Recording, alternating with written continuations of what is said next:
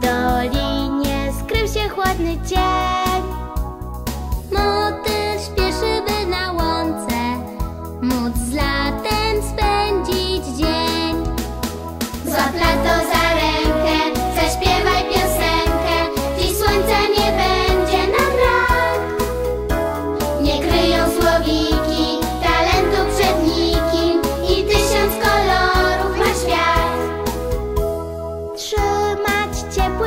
na dłoni i słuchać, o czym szepcze las.